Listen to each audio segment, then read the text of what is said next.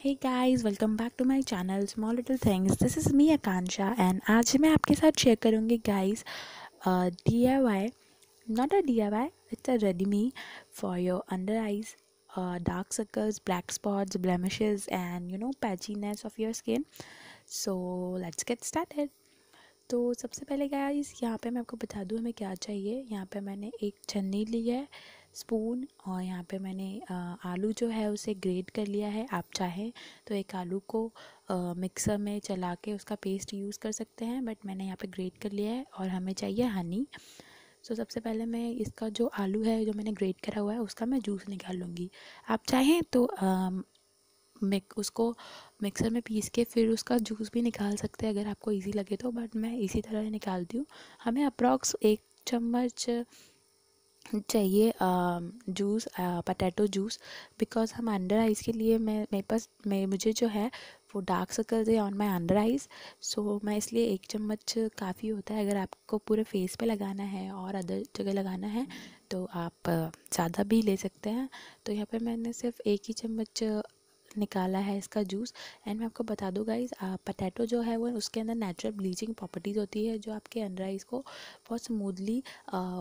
निकालेगी और आपके अंडर आइज़ के जो डार्क सर्कल्स हैं उन्हें बहुत जल्दी रिमूव करेगी। साथ ही पटैटो में गाइस एक वाइटनिंग प्रॉपर्टीज़ होती है और वो आपके पूरे फेस के लिए भी बहुत अच्छा होता है और साथ में ये बहुत ही जल्दी इफ़ेक्ट करता है गाइस एंड इसके अंदर हम डालेंगे one tablespoon of honey ये दोनों ही मिलके बहुत ही अच्छा वर्क करेंगे आपके अंडर आइज़ को। एक हफ़्ते में आपके अंडर आइज़ सारी जितने भी डार्क सर्कल्स है वो हट जाएँगे और अगर आपको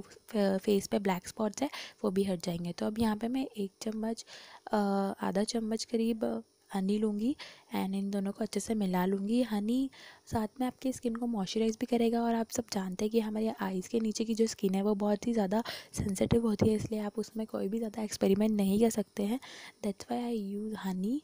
to you know maintain the moisture and pH balance of your skin और आप इसके अंदर लेमन भी ऐड कर सकते हैं। लेमन मेरी स्किन को बहुत जल्दी सूट नहीं होता है, इसलिए मैं लेमन यूज़ नहीं करूँगी। बट आप इसके अंदर लेमन भी ऐड करें for better result and for good result so आप, और जब कभी भी आप कोई भी होम रेडीमी ट्राई करें मेरी तो पहले हाथ पे ज़रूर चेक कर लें कि आपको उन चीज़ों से कोई रिएक्शन तो ना हो। उसके बाद इसे आप लगाएँ। सो गाइस जैसे आपको अपने अंडर आइज़ पे और जहाँ भी आपको ब्लैक स्पॉट्स है जहाँ भी आपको यू नो माउथ एरिया के पास या नोज़ पे या चिन पे कहीं भी उसे लगा के दो मिनट मसाज करें और पंद्रह मिनट के लिए छोड़ दें एंड फिर ठंडे पानी से धो लें। इससे आपके सारे जो ब्लैक स्पॉट है, स्किन पे, आप चाहें तो इसे अपने बैक पे भी लगा सकते हैं, अगर आपकी बैक काली है तो।